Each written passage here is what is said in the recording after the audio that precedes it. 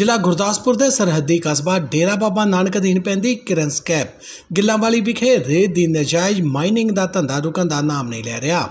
ਇਸ ਸੰਬੰਧੀ ਜਦੋਂ ਪੱਤਰਕਾਰਾਂ ਦੀ ਟੀਮ ਵੱਲੋਂ ਕਿਰਨ ਸਕੇਪ ਗਿੱਲਾਂਵਾਲੀ ਦਾ ਦੌਰਾ ਕੀਤਾ ਗਿਆ ਤਾਂ ਪਾਇਆ ਗਿਆ ਕਿ ਪਾਬੰਦੀ ਦੇ ਬਾਵਜੂਦ ਵੀ ਦੇਸੀ ਜੁਗਾੜ ਲਾ ਕੇ ਲੋਕਾਂ ਵੱਲੋਂ ਰੇਤ ਦੀ ਨਜਾਇਜ਼ ਮਾਈਨਿੰਗ ਕਰਕੇ ਮਹਿੰਗੇ ਭਾਅ ਤੇ ਵੇਚੀ ਜਾ ਰਹੀ ਹੈ।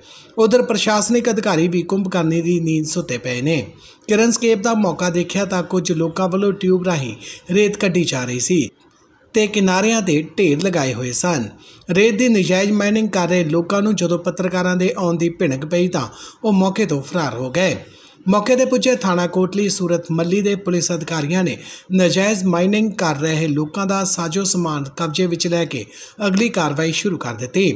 ਜ਼ਿਕਰਯੋਗ ਹੈ ਕਿ ਪੰਜਾਬ ਸਰਕਾਰ ਰੇਤੇ ਦੀ ਨਜਾਇਜ਼ ਮਾਈਨਿੰਗ ਖਿਲਾਫ ਸਖਤ ਹੋਈ ਪਈ ਹੈ ਤੇ ਨਜਾਇਜ਼ ਮਾਈਨਿੰਗ ਕਰਨ ਵਾਲਿਆਂ ਖਿਲਾਫ ਸ਼ਿਕੰਜਾ ਕੱਸਿਆ ਜਾ ਰਿਹਾ ਹੈ ਤਾਂ ਜੋ ਨਜਾਇਜ਼ ਮਾਈਨਿੰਗ ਨੂੰ ਰੋਕਿਆ ਜਾ ਸਕੇ। ਅੱਜ ਅਸੀਂ ਨਹਿਰ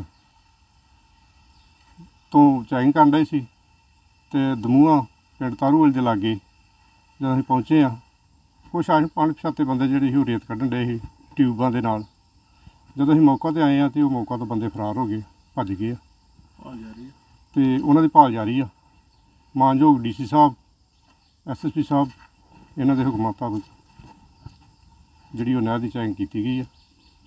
ਬੰਦੇ ਮੌਕੇ ਤੋਂ ਫਰਾਰ ਆ ਲਗਾਤਾਰ ਚੱਲ ਰਹੀ ਆ ਤੇ ਜੇ ਬੰਦੇ ਫੜੇ ਗਏ ਉਹਨਾਂ ਦੇ ਵਿਰੁੱਧ ਕਾਰਵਾਈ ਜਿਹੜੀ ਉਹ ਇੱਕ ਤੇ ਰੇਤ ਉਹਨਾਂ ਕੱਢੀ ਕੁਛ ਇੱਕ ਟਿਊਬ ਆ।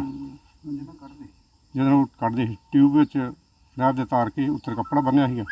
ਉਹ ਪਾਸੇ ਲਾ ਕੇ ਟਿਊਬ ਦੇ ਨਾਲ ਰੇਤ ਕੱਢ ਕੇ ਬਾਹਰ ਉਹ ਕਰਦੇ ਕੀ ਕਾਰਵਾਈ ਕੀਤੀ ਜਾਏਗੀ ਤੁਹਾਡੇ ਵੱਲੋਂ ਕਾਰਵਾਈ ਬੰਦੇ ਬੰਦੇ ਛਾਣ ਵਿੱਚ ਆ ਗਏ ਬੰਦੇ ਕਾਬੂ ਆ ਗਏ ਤੇ ਉਹਨਾਂ ਦੇ ਪਰਚਾ ਬੱਚਾ ਦਿੱਤਾ ਜਾਏਗਾ।